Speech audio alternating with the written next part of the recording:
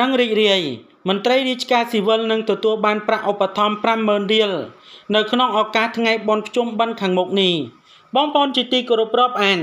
ឱកាសបុណ្យភ្ជុំបិណ្ឌក៏ជិតឈានជើងចូលមកដល់នៅក្នុងនោះផងដែររដ្ឋាភិបាលក៏បានប្រកាសផ្ដល់ជូន50000រៀលដល់មន្ត្រីរាជការស៊ីវិលទាំងអស់នឹងនឹងទទួលបានប្រាក់នេះដើម្បីយកទៅប្រើប្រាស់ផ្សេងផ្សេងគ្នា ក្រសួងមុខងារសាធារណៈនៅក្នុងថ្ងៃទី7ខែសីហាឆ្នាំ2024បានចេញនូវសេចក្តីប្រកាសព័ត៌មានពាក់ព័ន្ធជាមួយនឹងប្រាក់ឧបត្ថម្ភបន្ថែមនិងក៏ដូចជាចំពោះមន្ត្រីរាជការស៊ីវិលនិងជាប្រាក់បេវត្តប្រចាំខែកញ្ញានិងខែតុលាឆ្នាំ2024ដែលរដ្ឋាភិបាល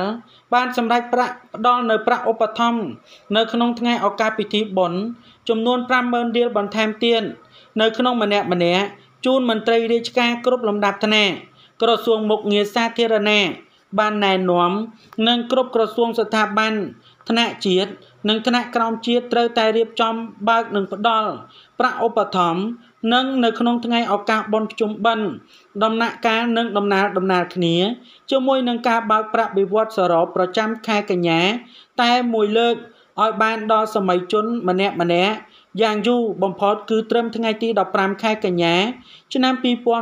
2024នឹងត្រូវរៀបចំបើកផ្ដល់នៅប្រាក់បៀវត្សលើកទី1សម្រាប់និងក៏ដូចជាសម្រាប់ខែតុលា ឆ្នាំ2024 នឹងបាននៅក្នុងសប្តាហ៍ទី1នៃខែតុលា ហើយលើកទី2ឲ្យបាននៅក្នុងសប្តាហ៍ទី3នៃខែតុលាជូនមន្ត្រីរាជការរបស់ខ្លួននិងដោយឡែកសម្រាប់ការបើកនិងការផ្ដល់នៅប្រាក់បៀវត្សខែវិច្ឆិកាឆ្នាំ2024សូមអនុវត្តទៅតាមនីតិវិធីដែលបានកំណត់ជាធរមានផងដែរ